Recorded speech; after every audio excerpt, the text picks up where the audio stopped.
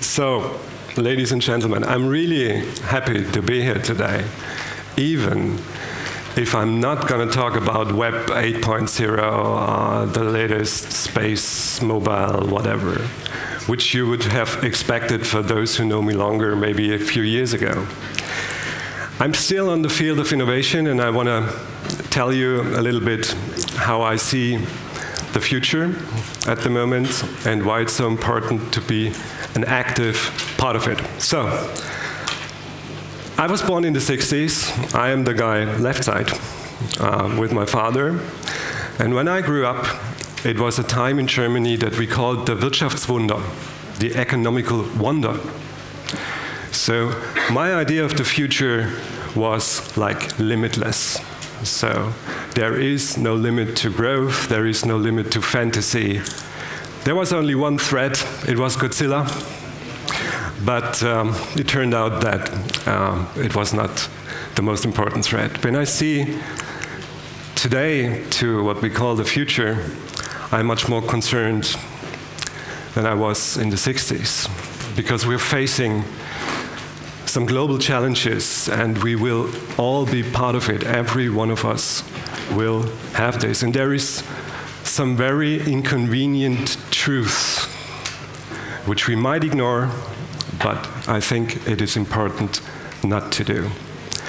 And of course, there is discussions, discussions about scenarios. So, is there, for example, global warming, or isn't? So um, I brought you the official, the most official statistics on temperature rise since we measured temperature. And here you can see a trend, a tendency. And I think it is not to debate this chart. This is purely scientific facts. And we have to deal with that. So, what is the challenge?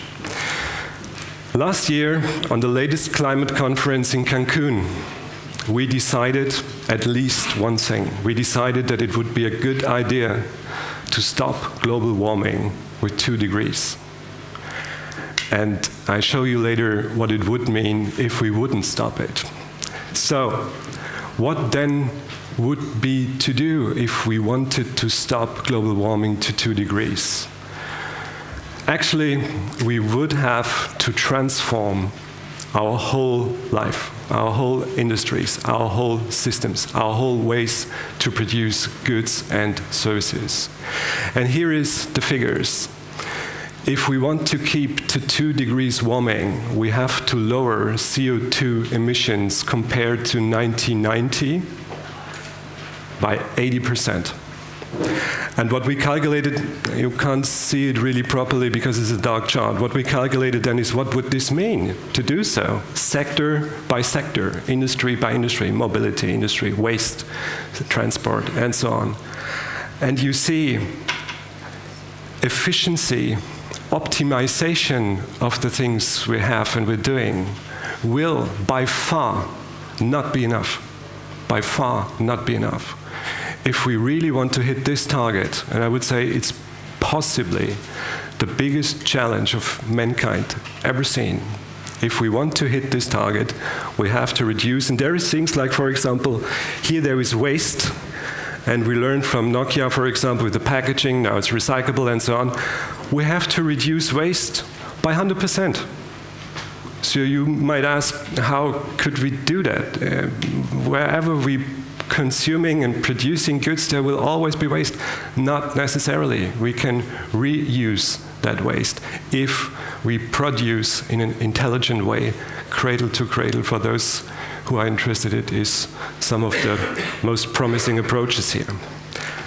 But let's actually see the facts and not debate in a kind of much emotional way let's go to the facts. Here, when we started looking at these figures in 2006, that was the chart. So in, in 2006, China was already biggest emitter of CO2 gases worldwide, followed by the US and so on. You have here some different regions. So what we have done then was we took a calculation down to what does that mean per capita in a region or in a country.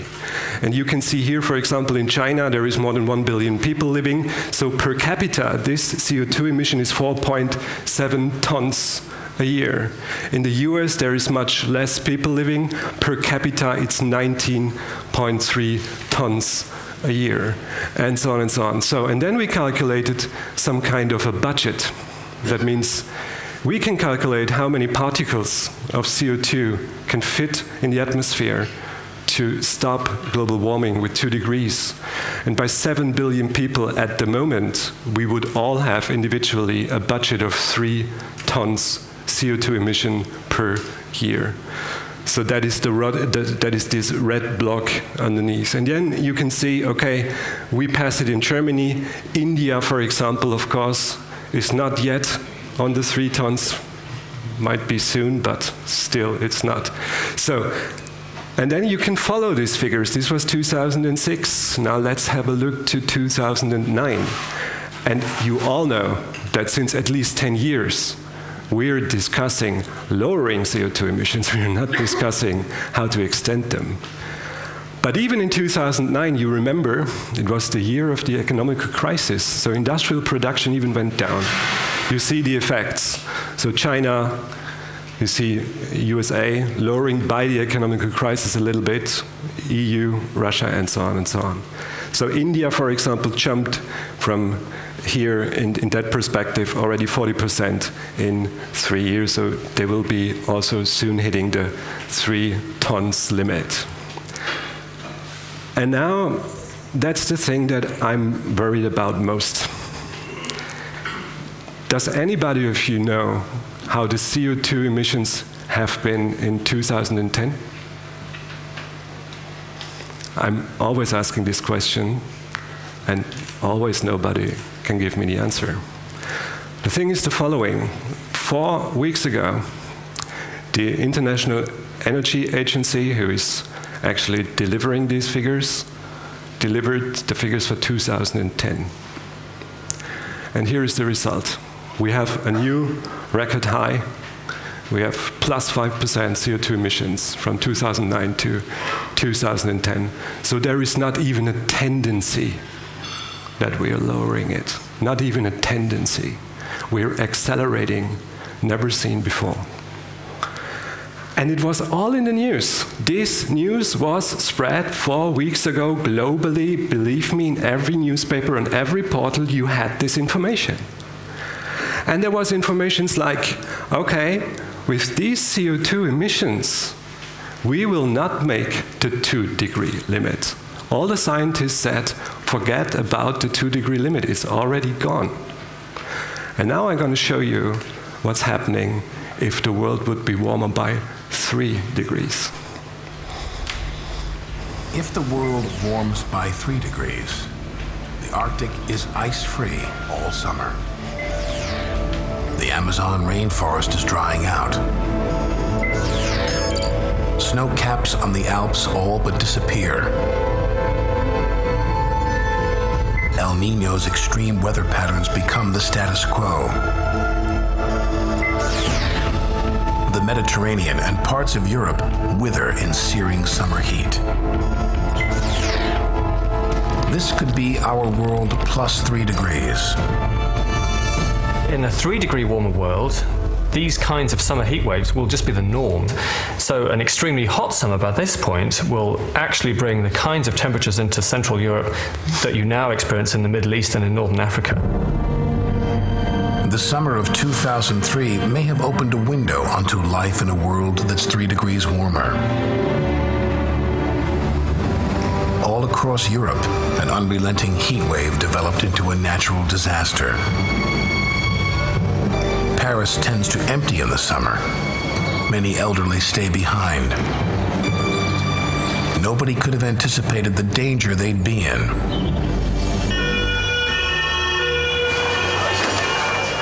Emergency room doctors were the first to realize something was terribly wrong.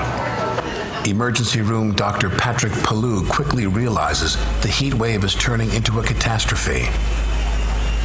Vous avez une telle vague de chaleur. You had such a heat wave comparable to a flamethrower igniting an entire area.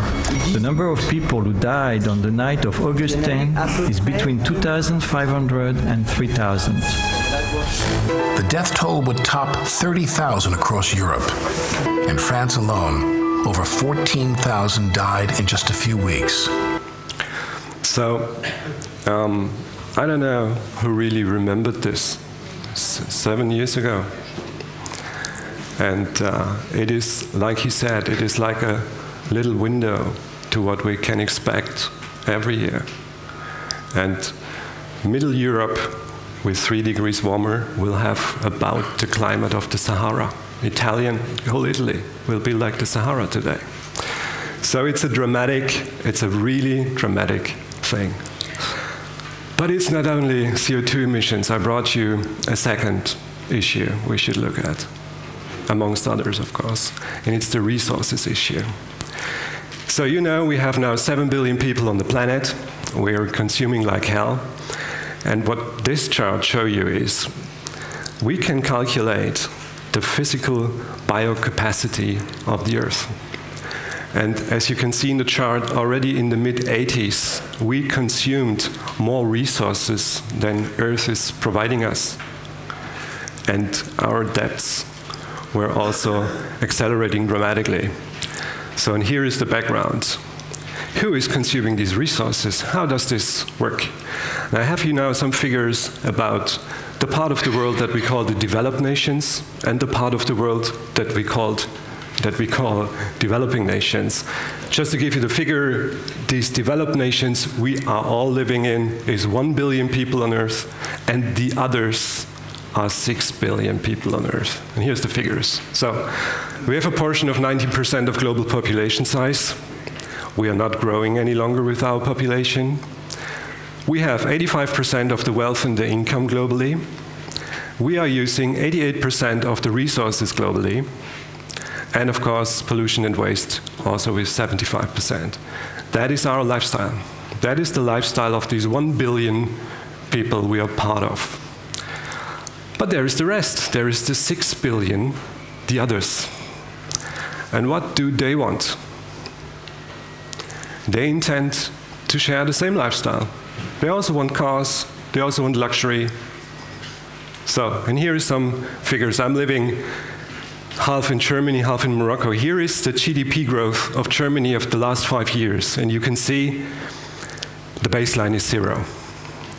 I'm living the other part of the year in Morocco, and here you can see GDP growth in my second home country, Morocco, which is most of the time a double digit figure. And I have here the growth of China and the growth of India. So double digit growth. And I just come back from China.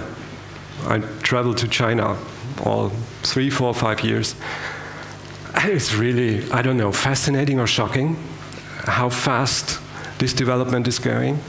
It is simply unbelievable, or let's turn that way. It is never seen before. The speed, the acceleration of growth, of industrial growth, economical growth, and growth of consumption is something new, has a new quality. We've never seen that before. And here is the projection to 2050. It's done by Goldman Sachs, and they predict in 2050 that China will have passed the United States even by the double. India in 2050 on the level of the USA today, then Brazil, Indonesia, the BRIC states, of course, Germany falls back in the line. That is the projection. And I would say it is a very realistic one. The world order has already changed in my eyes. Asia is the place to watch. Uh, today it's certainly China to watch most, uh, but India close behind. So, and resources are a complex topic, but there is one resource for us humans that we really badly need, badly need to survive. It's water. And McKinsey calculated that in 2030, the demand of water will be 40% higher than the water we got, or one third of the global population will have not enough water. And this is the latest news, I picked it just a couple of days ago, 21st of June. This prediction was corrected. It will come sooner than we have thought. And uh, already in 15 years, we will see that. And we will see regions drying out where today hundreds of millions of people are living. So, the prediction of the so called eco refugees that can no longer live in their space due to lack of water is about a billion in 2025. And maybe some guys think that this could be a solution. So, for example, if Bangladesh is running out of water, maybe we build a wall or something like that just to keep them in Bangladesh, because neither India nor China want to have 100 million Bangladeshi refugees. So that's no concept. And I could go on and on. I could really tell you about challenges we're facing. It's really the time to rethink everything we're doing. And when I always telling this to people, they say, yeah, but come on. There is a huge fraction of people who are saying technology will fix that. We will innovate, we will invent new things and be sure we cannot go under. I don't know, because others did it. If you, I can really strongly recommend a book from a guy called Diamond. It's called Collapse, and he analyzed actually eight big uh, civilizations, how they came up and how they went down again. So, but the historical quality is different. For example, when the Romans disappeared, this is the old Roman, the decadent old Roman, we had 500 million people on the planet. We had no nuclear technology. We had no mass destruction weapons technologies. So even if they would have, they, had, they, they would not even been able to destroy the planet like we are doing it today. So now the question is, what are we going to do now? I think if you really understand this and be conscious about it, you cannot do nothing.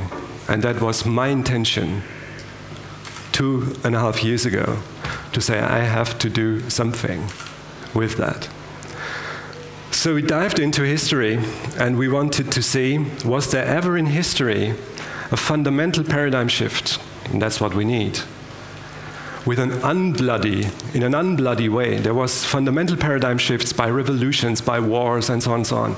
But there was one also in history that was unbloody. Even that period of time was very bloody. It was the Dark Age, and sometimes I think we still live in the Dark Age again.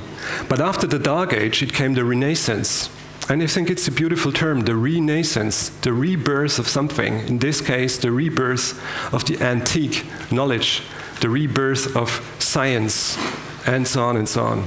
So if you look to the Renaissance and how this uh, started, there was four guys actually who initiated this new thinking, Galilei, Da Vinci, Michelangelo, and Botticelli. And what is remarkable when you see this picture? It is remarkable that these are for Italians, and not for English, and not for American, and not for German. Why is that? It's because of him. Lorenzo de' Medici was a very rich uh, part of a very rich family in uh, Florence at the time, much money, but no influence. There was no bourgeoisie, there was the Dark Age. So he wanted to become influential in society and change this paradigm. So he had a cool idea. He built a house in Rome. And this house was called, and still is called, the Villa Medici. And he invited all these four guys to live and work in this house under one condition it has to be it had to be an open house it was like a incubator a mental incubator of new thinking of new ideas and for example martin luther traveled to italy and spent six months in villa medici before he postulated the reformation thesis for example so this was a hub of new thinking. People could go there, they spread the word, and out of this activity came actually the whole renaissance. So we thought that is a good concept. And we went to Marrakesh actually for also some good reasons, but due to the time, I cannot explain everything uh, today. And we, we had, uh, we, we rebuilt an old little palace in uh, Marrakesh, and we opened it in 2008, and we started inviting people, thinkers, scientists, philosophers, artists, small groups, and we discussed our visions and we tried to develop new ideas, new systems, new models, and so on and so on. And it was really amazing.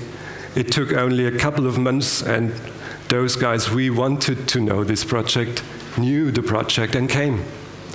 And so we decided to institutionalize this a little bit more. We are building a platform that we call the Club of Marrakesh. And this is an interdisciplinary platform of innovators that we have grouped and we're working with, and we're developing new models and systems. And I think if I'm often asked what I would consider our biggest problem, our biggest challenge, I would say it's managing complexity.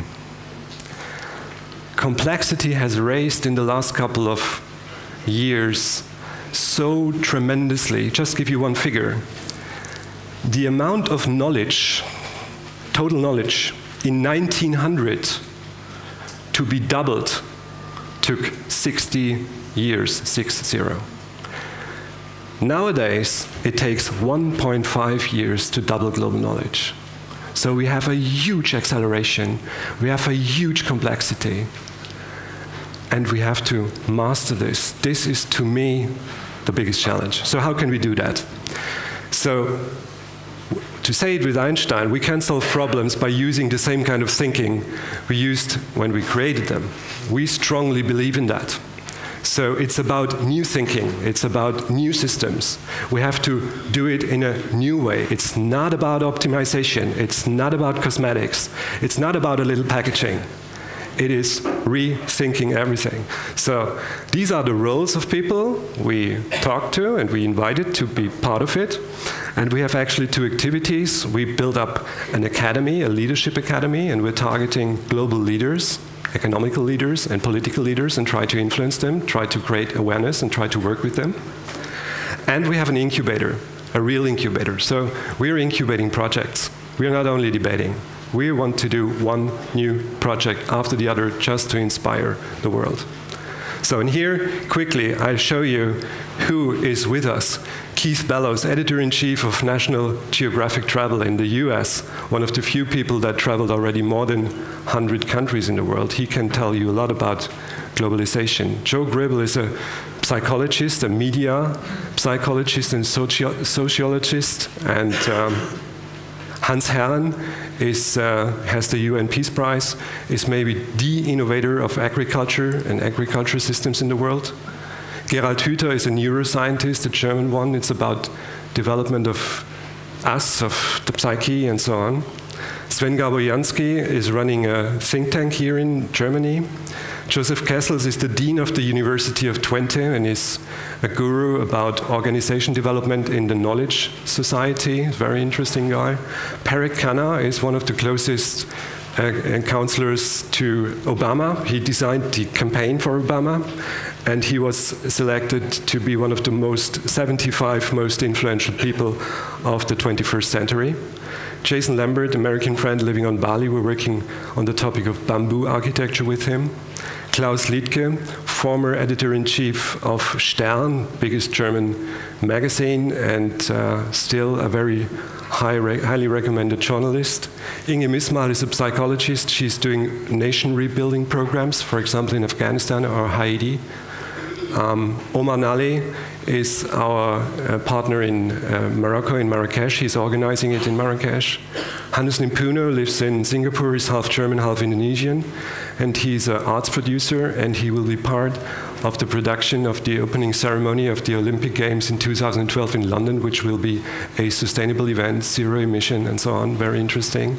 Jana Pallaske is a German actor in Glorious Bastards. Maybe you've seen it. Uh, Ratu Pedanda is the high priest of Bali, is a very high ranked Hindu priest. Margret Rasfeld is an education innovator. She's running an absolutely stunning new school in Berlin and uh, very interesting person. Bibi Russell was the first top model coming out from Bangladesh, and after her career of being a top model, she went back to Bangladesh, and she is now she has now a biological, fair paid, fair traded eco fashion brand, very successful. Peter Spiegel was the alter ego of Muhammad Yunus. They both developed this idea of microcredits years ago. And Yu Zhang is a professor for intercultural management in Beijing and uh, Berlin, and she's our gate to China. So if you think now, oh, how nice, how cute, the guy thinks we can select a few people and then change something. Yes, we think we could do that. Uh, certainly not with our 25 people we need you. Also, that's why I'm here. I want to win you for the idea to participate in that. So, what we're about to develop is a platform, an internet based platform, where we want to make collaboration on a global scale possible. Collaboration with our network, with our experts. But it's not only about chatting or communicating or sharing documents it's about initiating projects. That's the interesting thing. And this is by far nothing definitive I'm showing here. This is a very naive first approach from our side how we could develop such a platform. And when I met Harald and I told him, hey, Harald, maybe you can help me because I'm trying to develop something very innovative. It's a very important project. And he told me what he's doing here with MLove that's why we decided, hey, okay, I will come here, I will show you all this, and for those who are interested and have some ideas, please join, please come to me. We want really to build something very important, and we want to build it on a collaboration basis, open source, uh, and so on. So, quickly, those who were with us, they have access to this platform then, to the academy, to the incubator, and to the expert network. That's the scheme. And the software should be a kind of white label development. That means we want to give that platform also to other organizations or even companies so that we can work together. So it's more like a satellite system. And we can even connect projects worldwide because we're sometimes identifying that the wheel is reinvented and reinvented and reinvented again because people don't know from each other. So we want to stick this together, and uh, this is the idea of this of this software. So I can really, really, personally tell you, let's take action. It is not five before 12. It is 12 or even beyond, I cannot say exactly, but I can tell you it's the time to act now. And we should not resignate, even if these figures sometimes that you're facing are really about that you had a good reason to resignate. Don't do it. We should innovate. We should be curious. We should connect. We should collaborate. We should open sources. And we should be the change and not wait before the others will be the change. And our future starts exactly now. Thank you very much.